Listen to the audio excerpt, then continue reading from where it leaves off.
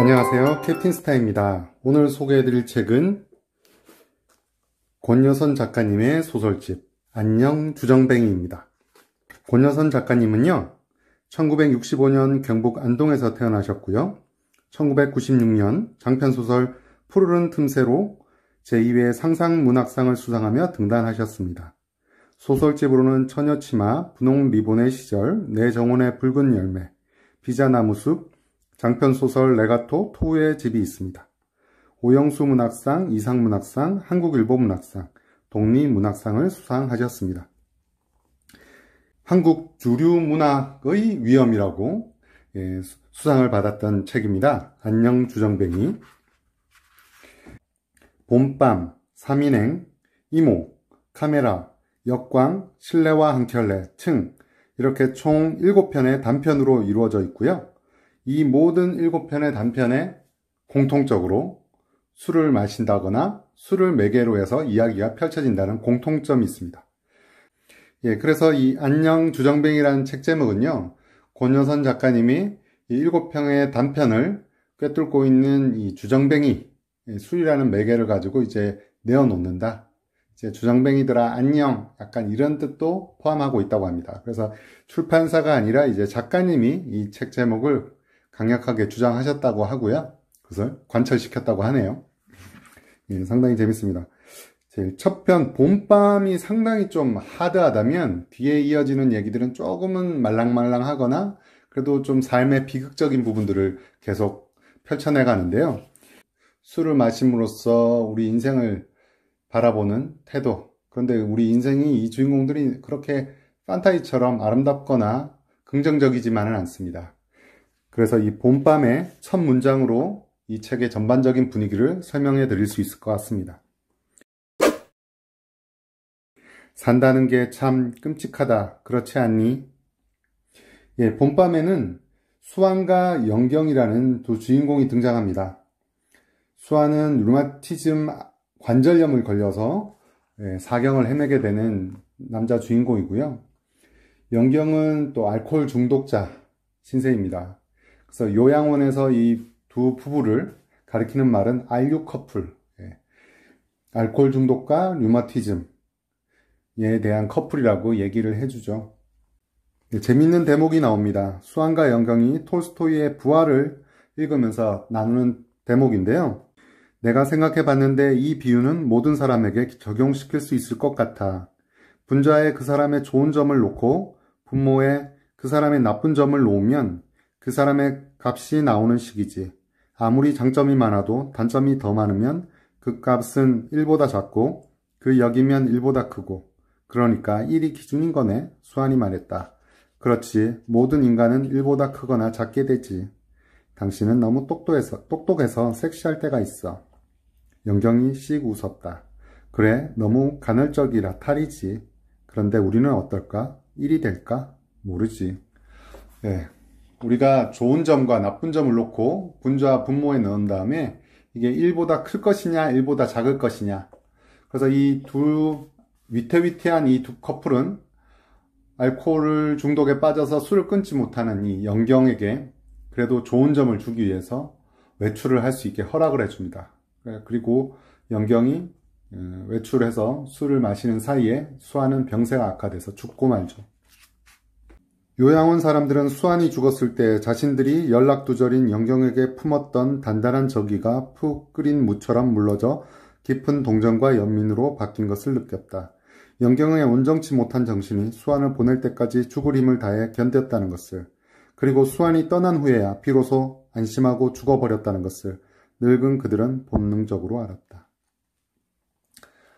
네, 이 처음에 이제 보여준 이 봄밤에 이 두 커플 이야기가 너무 강렬해서 사실은 뒤에 나오는 이야기들은 조금 어, 너무 소프트하다, 약하다, 약간 묻히는 느낌도 들었습니다.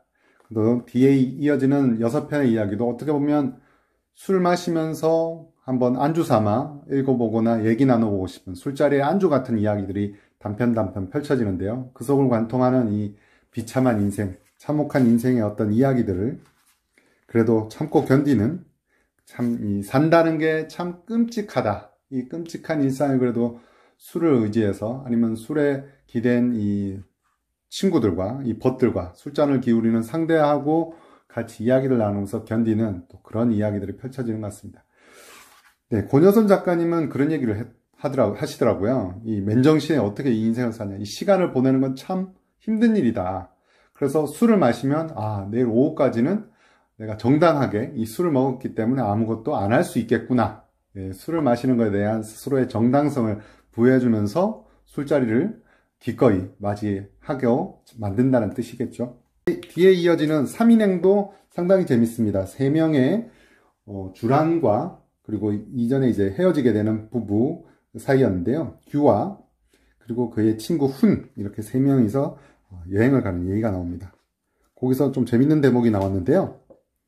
만종 분기점을 지날 때 규가 여길 지날 때면 항상 박종철 열사가 생각난다는 뜬금없는 소리를 해서 훈은 엄격결에 아까 지날 때는 가만히 있다가 왜 지금에서야 그런 배부른 소리를 하냐고 다그칠 뻔했다. 왜냐하면 하고 아무도 묻지 않았는데 규가 설명을 시작했다. 옛날에 박종철 고문치사 사건 났을 때 사람들이 종쳐라 종쳐라 하면서 종을 쳐라 종을 쳐라 하는 분위기가 있었 무르익지 않았냐? 근데 그때 전두환이가 맞불 작전으로다 김만철 씨 일가 귀순 사건을 터뜨려 가지고 만쳐라 만쳐라 하면서 종을 그만 쳐라 그만 쳐라 하는 분위기로 바꿔놨지 않았냐? 맞다. 훈이 손뼉을 쳤다. 그때 김만철 씨 일가 귀순 사건이 있었지. 그러니까 만종이란 지명은 만철과 종철을 동시에 환기시키고 만칠치, 종칠치 오락가락 하던 그때 그 시절을 생각나게 하고 그러다 보면 각 잡힌 박종철 열사의 영정사진이 오롯이 떠오른다고 규가 말했다. 그 참 재미있는 연상이라고 훈이 진심으로 동조했고 주란조차 그거 말되네 하고 긍정적인 반응을 보였다. 예, 여기 이런 이야기들의 약간 술자리에서 나오는 이런 술안주 같은 이야기 예, 이런 묘미가 좀 더 있었던 것 같습니다. 뒤에는 이제 이모님, 이모와 그, 그 조카의 어떤 이야기가 펼쳐지는데요. 그래, 내가 잠적하기 전까지는 태구한테 여자친구가 없었지. 첫눈에 들 퍽 좋았던 모양이구나. 근데 넌 그 애를 뭐라고 부르니? 신혼이니 모골이 송연하게 불러대지 않겠니? 나는 좀 부끄러워하면서 달링과 신랑을 합쳐 달랑이라고 부른다고 대답했다. 달랑이라고 부르면 달랑거리면서 달려오겠구나. 결혼도 하지 않은 그녀의 입에서 튀어나온 뜻밖의 농담에 나는 당황했다. 그러나 그녀의 표정에는 딱히 장난기라고 할 만한 것이 보이지 않았고 말투도 날씨 얘기를 하듯 무심했다. 내 숙기로 봐서 밖에서는 그렇게 부르지 않는 게 좋겠다. darling이랑 신랑이랑 합쳤다는 소리도 하지 말고 다들 나처럼 생각할 거다. 달랑이는 달랑이로 들릴 뿐이니 이런 것도 재밌죠. 옛날 이야기를 듣게 되는데요. 아마 대학 1학년 겨울쯤이었을 거다. 그 애는 지방에서 올라온 학생으로 같은 과 동기였는데 어떤 이유에서인지 모르지만 내게 호감을 느꼈던 것 같아.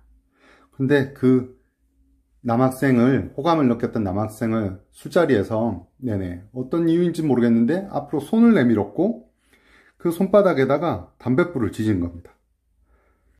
그가 맞은편 탁자에서 구부정하게 등을 구부려 두 손을 내밀던 자세, 둥글게 좁혀지던 어깨 모양, 그녀가 담뱃불로 손바닥을 지졌을 때 그의 얼굴에 나타난 놀람과 경련, 서서히 퍼지던 표정과 한쪽 눈에서 흘러내리던 눈물. 네, 너무 아파서 눈물을 흘렸죠. 재와 담뱃진으로 거칠게 탄 손바닥의 동그란 자국, 뒤늦게 코끝을 감돌던 종이 탄내 같은 냄새. 그래서 이모가 다시 그걸 추억하면서 얘기를 하죠. 기억해내면서. 그 애를 지진 이유는 단순했어. 성가시고 귀찮았던 거지. 단지 그뿐이었어. 네, 아주 단순한 이유로 삶은 비참하고 끔찍한 일들이 벌어지기도 한다. 그 술자리에서 이런 얘기들도 술안주 삼아 얘기하기도 하겠죠.